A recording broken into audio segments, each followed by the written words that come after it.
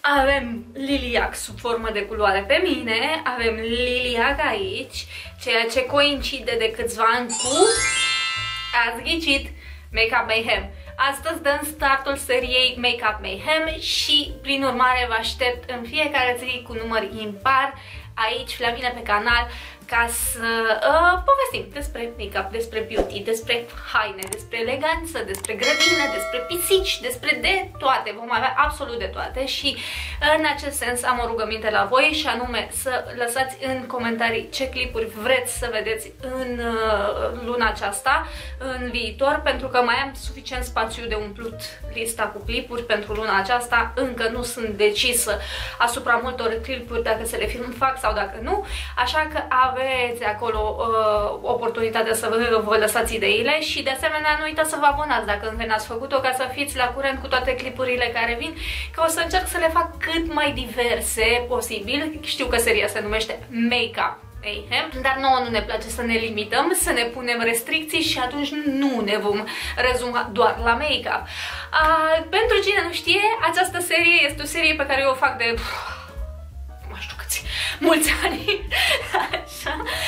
O fac de foarte mulți ani și este o serie cumva dedicată lunii mai, dacă vreți, o lună care mie mi se pare foarte specială din foarte multe puncte de vedere. Uh, și asta înseamnă că postez o dată la două zile în zilele cu număr impar.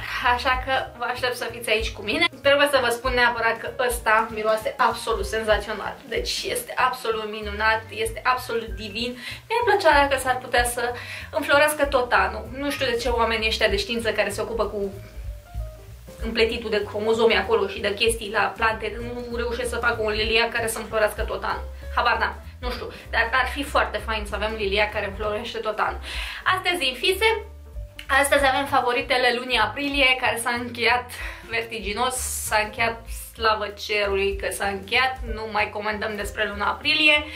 Bine că s-a dus. Încă o mică mențiune vreau să fac și anume că în clipul ăsta cu favorite de regulă eu un clip produsele sau lucrurile sau chestiile care îmi plac foarte mult și pe care le folosesc foarte mult în luna respectivă, uh, nu neapărat produse noi că știu că mi se mai zice iar vorbește despre chestia aia, da, da, pentru că asta am folosit toată luna, de exemplu. Așa că în clipul de astăzi să nu vă surprindă că o să vedeți multe produse despre care am mai vorbit și despre care am mai adus vorba, poate chiar în alte clipuri cu favorite, dar m-am gândit că n-ar strica să mai povestim puțin. Deci o să începem cu două produse noi, ca să rupem tiparul. Pe, mă rog, noi în sensul că nu le-am mai avut, uh, cred că niciodată în favorite și cred că nu prea v-am vorbit în clipuri despre ele și anume, prima dată avem aceste fiole cu acid hialuronic de la Gerovital.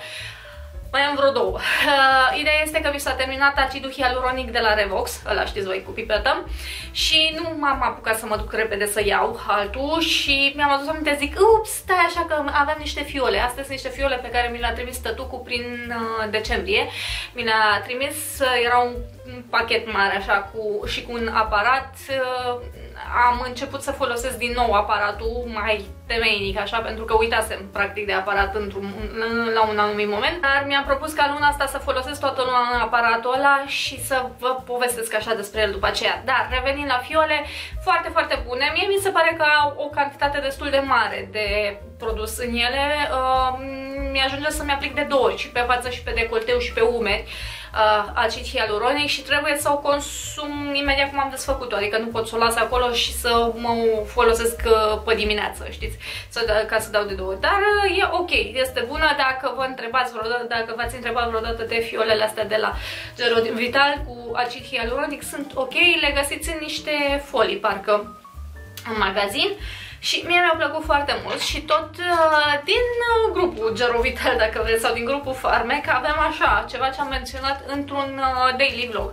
Că am luat și anume această argilă de la Asla Vital, care mi-a Uh, salva viața este puțin cam mult spus, dar este ține tenul sub control în perioada asta.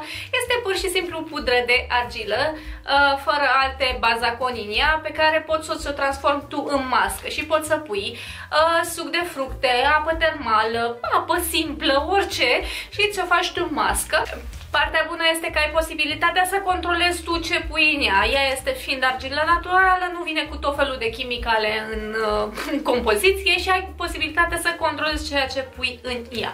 Uh, eu uh, o folosesc, mi-ajunge un plic din asta pentru două aplicări și mi-aplic și pe față și am început să mi-aplic și pe decolteu și pe umeri, că v-am povestit într-un daily vlog că e o problemă la mine cu niște monștri care tot mă sâcăie și vreau să evacuez și uh, o aplicam de 2-3 ori pe săptămână, depinde cum fac, cum uh, mă organizez, pentru că îmi place să o aplic în zilele alea în care stau mult pe afară și aplic SPF sau uh, grădinăresc și se adună mult praf, indiferent cât ai te-ai ferit, tot se adună mult praf și uh, ajută să-ți curețe foarte, foarte bine pielea. Încă un aspect foarte important la ea este că nu are o granulație foarte mare, prin urmare poate fi folosită și de acelea dintre voi care poate aveți tenul mai sensibil sau aveți cuperoză și vă feriți de uh, o exfoliere mecanică puternică. Și v-am zis, mă, a doua zi întotdeauna mă trezesc cu, cu tenul foarte curat după urma ei și uh, între asta și AHA-ul pe care îl folosesc de la Revox a reușit în perioada asta să-mi țin tenul sub control. So, it's very nice. Bun, uh, la capitolul body care, tot așa într-un daily vlog v-am menționat că am nevoie de ceva care să mă relaxeze, în mod special seara și să mă ajute să mă... fie un fel de aromoterapie dacă vreți. Și am uh, acest un decor de la Barnagan cu trandafir. Nu mai reau tot speech cu știți că mie nu-mi place mirosul de trandafir, nu mai reau, vi l-am zis de 10 ori deja. Cert este că mai am foarte puțin, nu știu dacă se vede, mai am foarte puțin din acest un decor pentru că l-am folosit în mod intens. Ca hidratare,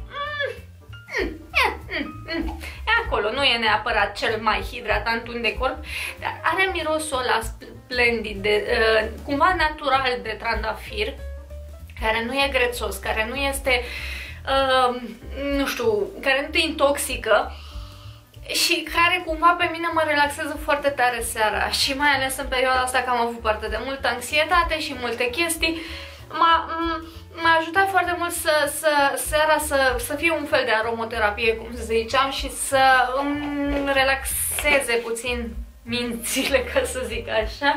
Și uh, da, am și loțiune. Chiar ar trebui să scot la înaintare și loțiunea, pentru că e băgată pe undeva pe acolo, prin toate loțiunile alea pe care le am eu. Uh, și ar trebui să o scot și pe aia la înaintare, pe aia să o folosesc dimineața. Dar dimineața, tot în ideea asta, folosesc acest... Uh, uh, body sorbet de la uh, um, Farmalid care, n-aș ști să vă spun exact ce miros are, are tot un miros din ăsta fructat ceva foarte soft așa, pe ăsta îl folosesc dimineața pe corp și este hidratant acest sorbe, doar că mi-am dat seama cu el că e o, un trick, un, o, o chestie pe la care trebuie să ai grijă. Ideal ar fi să-l întinzi pe piele, doar să-l întinzi așa și să-l lași. Cumva se transformă în apă și după aceea pielea îl absorbe și este hidratant, dar fără să-ți lase uh, pielea grasă. Uh, dar v-am zis, condiția esențială este să-l întinzi și îl lași acolo pe piele, nu dai cu mâna așa, că după aia se fac frecăței, se fac acele particule, știți, se adună de pe, de pe piele și așa, dar în rest foarte ok, pentru dimineață foarte ok. Și are un, o aromă foarte plăcută așa, discretă, adică dacă te dai cu parfum sau cu altceva, nu o să se bată cu parfumul, nu o să se simtă. Mie, în general, nu-mi plac loțiunile astea de corp, mai ales pentru dimineață. Seara merg că nu mă dau cu parfum, dar dar pentru dimineață nu-mi plac loțiunile astea de corp care sunt foarte parfumate, foarte puternice Uh, care să se bată cu parfumul meu. Adică eu vreau să se simtă parfumul meu și atât. Nu vreau să mai simt, să simt și alt miros de deodorant sau de alte chestii sub nicio formă. No way! Dar foarte ok pentru dimineața asta. Apoi, două produse pe care vi le-am mai menționat, menționat eu în special pe Instagram, v-am mai zis despre ele și cred că vi le-am arătat într-un unboxing când au venit, parcă, nu mai știu. Sunt acest șampon și balsam de la Helenson, un brand distribuit la noi de cei de la Mediteranean. Ah, ideea este în felul următor, că le-am folosit împreună cu celelalte produse de la Mediteranean. De, uh, de la Mediteranean am acel uh, un decor care miroase a um, din asta, orez cu lapte.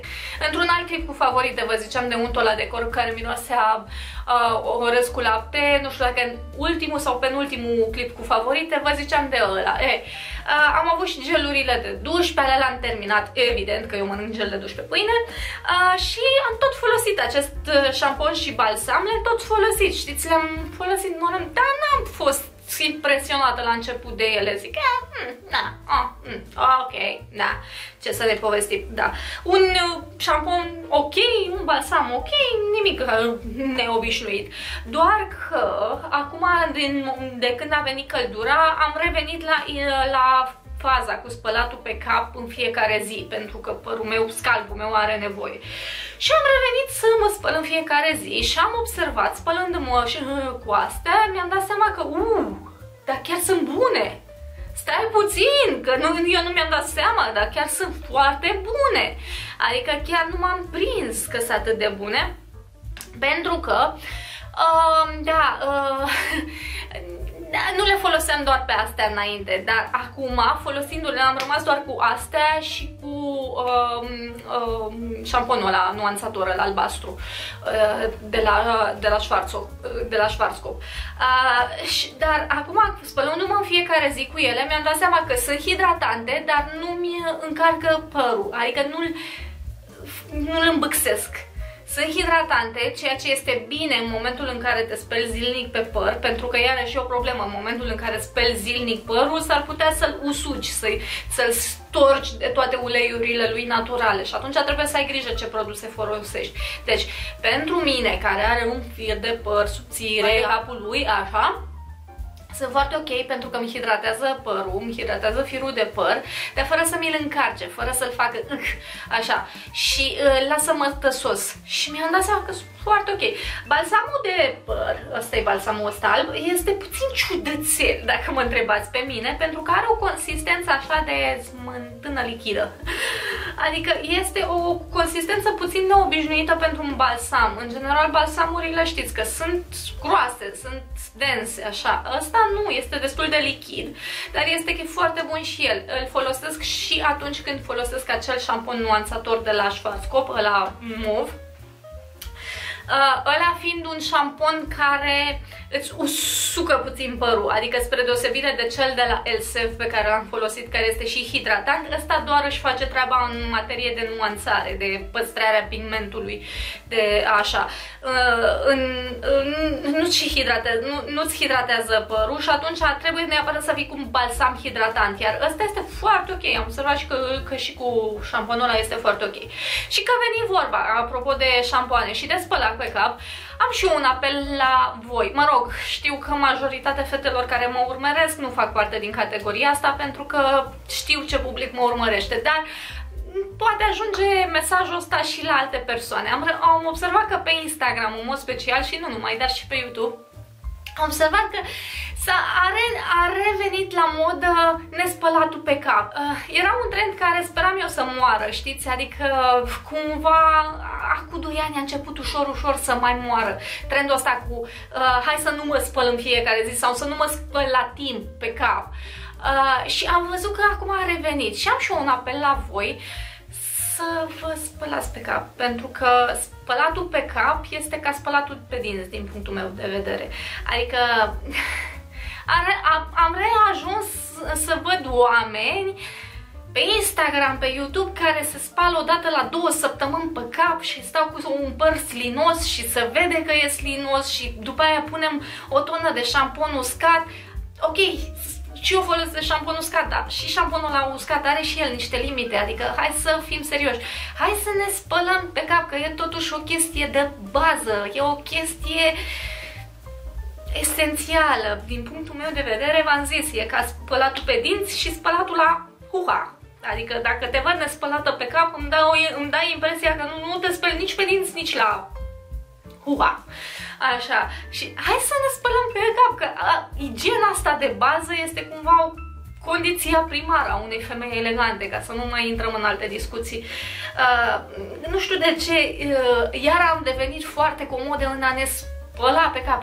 Nu durează mult, adică un păr curat este de preferat oricărei coafiuri și oricărei culori și o, la orice altceva. Este mai, mai bine ai un păr curat decât un păr super coafat și nu știu cum făcut. Repet, nu știu de unde nebunia asta cu hai să stau cu el cât mai slinos și să mă spăl cât mai, cât mai uh, puțin posibil că mă arde uh, apa.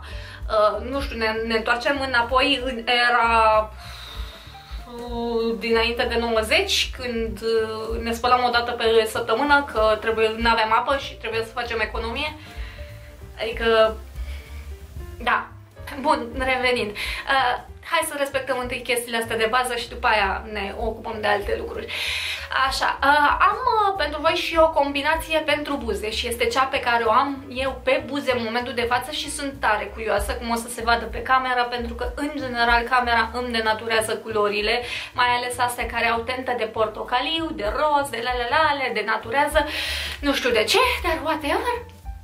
Am un creion, ăsta este de la Miss Sport, este un creion uh, coral, așa, are o tentă ușor portocalie, pe care îl combin și o să vă arăt imediat creionul, craionul, să facem un swatch mai dens, așa, mai puternic, deci vedeți, are o tentă mai portocalie, pe care cre creion îl combin în ultima vreme cu acest ruj de la uh, Yves Saint Laurent. Da, știu, ruj de la Miss Sporty cu ruj de la Isanura. Whatever, puteți să puneți orice, nu se mai vede pe el ce nuanță este, dar puteți să puneți orice ruj, orice creion uh, vreți voi nuanța asta. Vedeți, asta este un nude.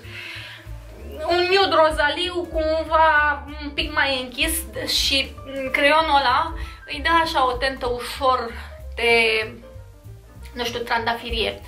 Uh, movul sau rozul din, din acest ruj cu uh, portocaliul ăla din creion îi dă o tentă așa ușor, uh, ușor trandafirie uh, nuanței care rămâne pe buze și îmi place foarte tare. Plus că ăsta este un ruj foarte hidratant. Asta este numărul 47 din gama asta de la YSL, cum se numea.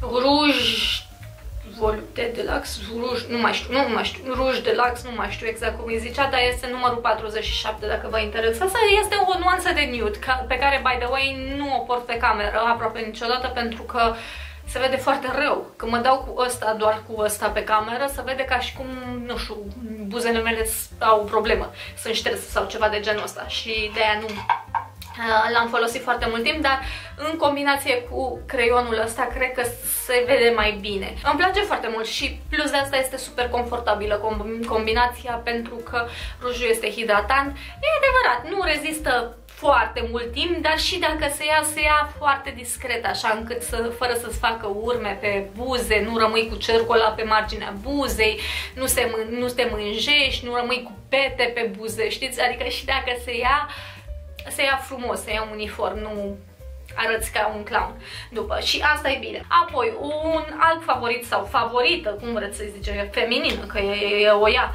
este coarda mea, pe care v-am mai arătat-o eu la un moment dat, tot așa într-un clip cu favorită și v-am mai vorbit despre ea, pentru că se pare că este singura activitate fizică de care reușesc să mă țin. Nu știu care explicația, dar se pare că numai de săritul corzii reușesc să mă țin corzii coardei, mm, da, așa, numai, numai, de, numai de sărit coarda mă reușesc să mă țin, în rest nu prea mă țin de alte sporturi, adică fac o săptămână, două, după care mă plictisesc. Dar asta mă ține și să sperăm că o să mă mai țină. Este o cardă din plastic, cauciuc, habar n-am ce e ăsta, care apropo se mănâncă când uh, sar pe ciment ca mine, dar asta este. Uh, și e o coardă, de ce e specială? Pentru că are partea asta cu uh, electronică. Este o coardă electronică care, dacă îi dai drumul, așa, îți poți seta greutatea, poți să spui aici greutatea, poți să spui, are cronometru, poți să spui timpul uh, cât vrei să sari, adică merge cronometru, merge și crescător, merge și descrescător și uh, îți numără uh, numărul de rotații de sărituri pe care le-ai făcut și numărul de calorii pe care le consumi. Și mie mi se pare genială guarda asta pentru că fără n-aș putea, adică n-aș putea să-mi pun ceasul 10 minute și să sar 10 minute. Nu, eu trebuie să știu pentru că sunt puțin și plecată. Uh, trebuie să știu exact câte sărituri am făcut, dacă am făcut sunt, dacă mi-am depășit timpul, dacă mi-am depășit recordul sau nu mi-am depășit sau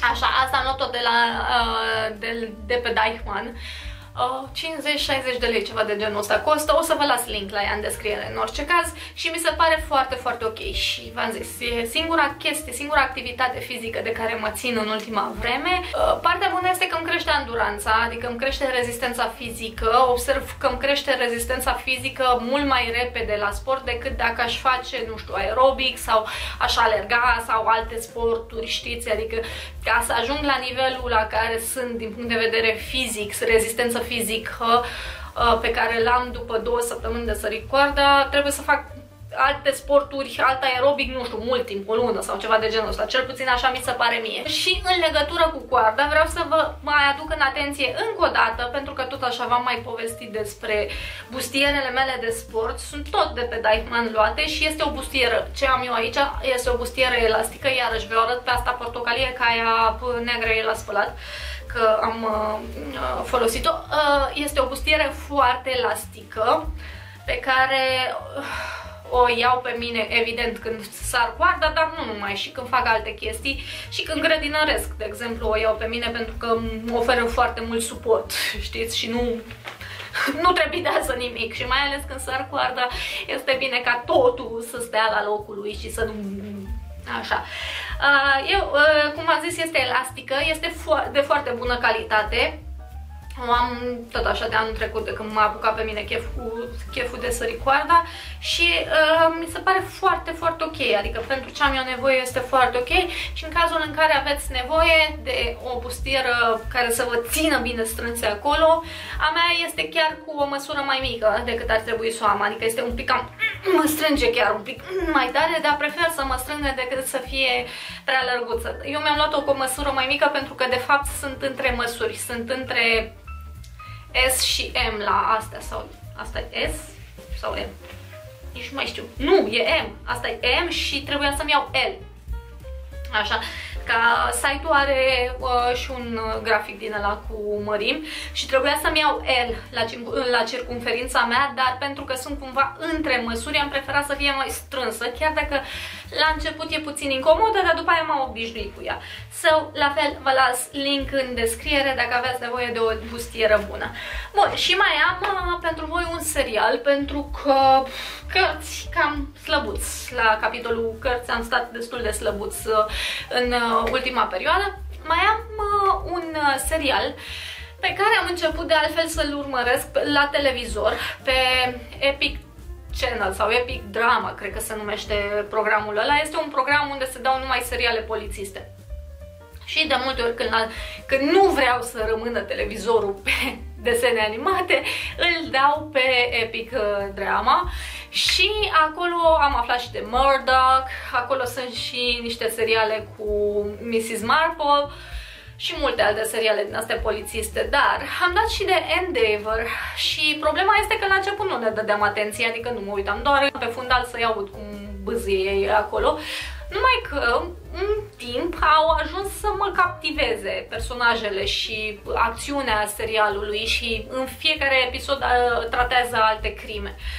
Și a ajuns să mă captiveze modul în care descoperă cele două personaje principale uh, criminalii și legătura dintre cele două personaje principale, doar că uh, se mai întâmplă anumite lucruri. Sunt și povești care sunt extra uh, crime sau extra ce se dezbate în episodul respectiv și cumva la un moment dat eram debusolată, că nu mai știam care, ce, cum. Și atunci am căutat uh, serialul uh, și uh, am început să mă uit la el. Fiecare sezon are patru episoade. Este un serial uh, englezesc. Acțiunea se petrece în Oxford, în uh, cam prin anii 60, așa.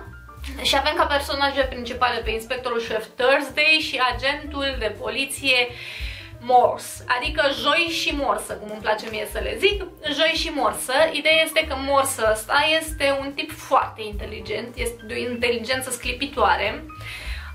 Are o cultură foarte vastă, el fiind cam pe ultima treaptă în poliție, dar ideea este că el este cam ultimul, este partea de jos și în locul lui sunt promovați alții, sunt băgați alții înainte și cu toate că el este un tip foarte deștept și de-aia zic, este foarte interesantă relația dintre Thursday și Morse și ceea ce se întâmplă și e o întreagă poveste acolo și da, am văzut trei, cred că trei sezoane sau patru, nici nu știu, v-am zis, sunt patru episoade pe sezon, adică nu, nu ă, așa, cine știe ce, mi se pare că anul ăsta, în vara asta, ar trebui să iasă sezonul 9, parcă. Uh, parcă, nu, parcă am văzut ceva pe YouTube.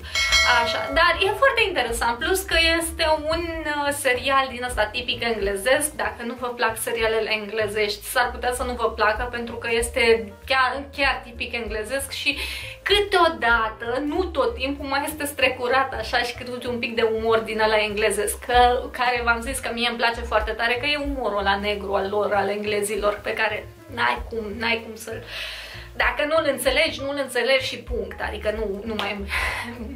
nu are rost să comentezi. Bun. Cam asta a fost pentru astăzi. Dați un like și un share dacă v-a plăcut clipul ăsta și de asemenea nu uitați să vă abonați că uh, luna asta vin o dată la două zile cu clipuri. Cum am zis, aștept sugestiile voastre în descriere. De asemenea, aș vrea să-mi spuneți și voi ce favorite ați avut sau ce alte recomandări de produse aveți pentru mine. Uh, veniți și pe Instagram, că acolo vorbesc în fiecare zi cu voi. Vă pup și ne vedem în următorul clip. Ciao!